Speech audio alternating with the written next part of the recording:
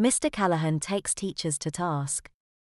As the Prime Minister yesterday criticised teachers for taking protest action after referring their dispute to arbitration, more schools were forced to close because of unruly behaviour by pupils left without supervision at lunchtime.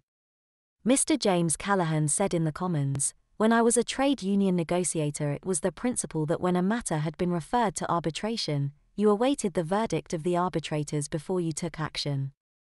Teachers' refusal to supervise lunches and other school activities has led to a wave of pupil unrest. In one Warwickshire school, 50 children, including girls, who barricaded themselves in a classroom were each given two or three strokes of the cane yesterday. 24 of the 30 pupils who barricaded themselves in a classroom at Sir Harold Wilson's old school, Royds Hall Secondary School at Paddock, Huddersfield, on Wednesday, were each given two strokes of the cane. For others who refused punishment were suspended and the other two have not returned to school.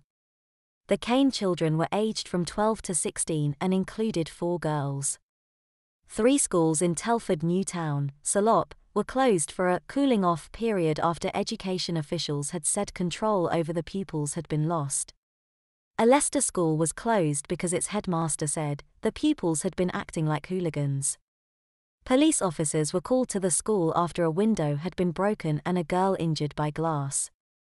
At Huyton, Liverpool, a schoolboy was arrested for alleged breach of the peace when about 200 pupils demonstrated against the teacher's sanctions. Stones were thrown at a police car. At Canvey Island, Essex, council staff were locked in their offices for protection when 300 children attempted to storm the building in protest against meal sanctions imposed by teachers at Furtherwick Park Secondary School. The pupils demonstrated outside the school and then marched over a mile to the Castle Point District Council offices, where they battered on windows, chanting and shouting. The police marshalled them onto the pavement and they went back to school, singing defiantly.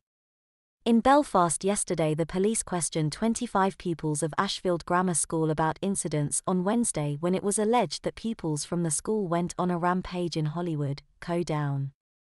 Between 60 and 70 pupils were estimated to have been involved. Some summonses are to be issued. Teachers at some Norfolk schools relaxed sanctions yesterday so that children should not be turned out into the snow during lunch hour. Mr. Fred Jarvis, General Secretary of the National Union of Teachers, said yesterday, I deplore the type of hooliganism that has occurred in one or two places, but it will not make us alter our plans at all. The teachers involved in the sanctions have opted to go to arbitration after rejecting a 9% pay offer. No date has yet been fixed for the arbitration to begin. Some teachers' leaders believe that sanctions would